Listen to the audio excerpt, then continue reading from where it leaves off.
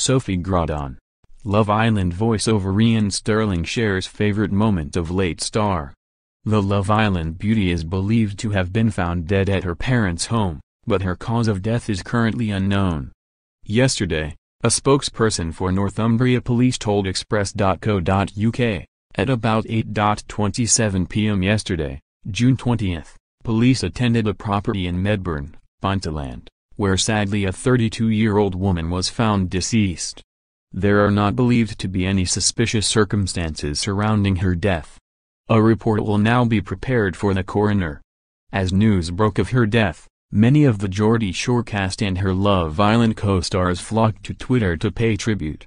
Iain, 30, paid his respects by posting a video of her delivering an inspirational speech to her former housemates. Sophie put the speech together after it was revealed her former co-star Zara Holland was stripped of her Miss Great Britain title, after getting intimate with co-star Alex Bowen.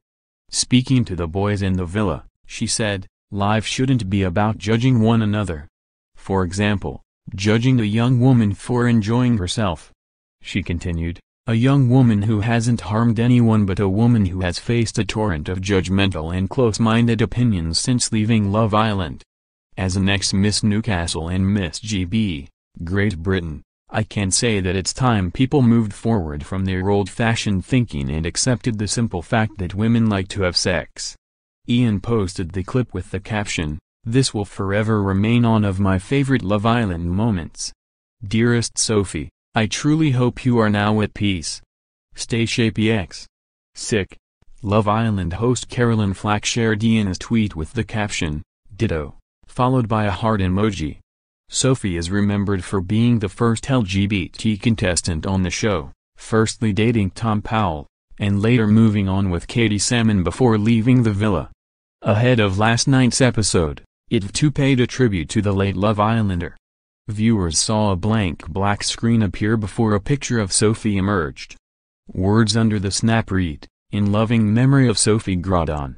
Yesterday, a representative for the show told Express.co.uk, the whole of 2 and Love Island team are profoundly saddened to hear the news about Sophie, and our deepest sympathies and thoughts go to her family and friends.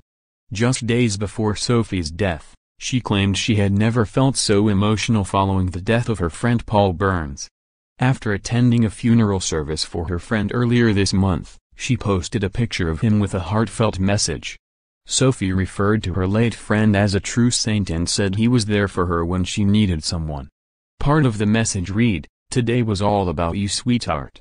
What an amazing send-off for our Mr. Newcastle Paul Conrad Burns.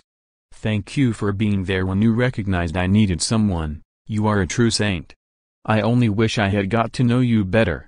All my love and thoughts with your nearest and dearest.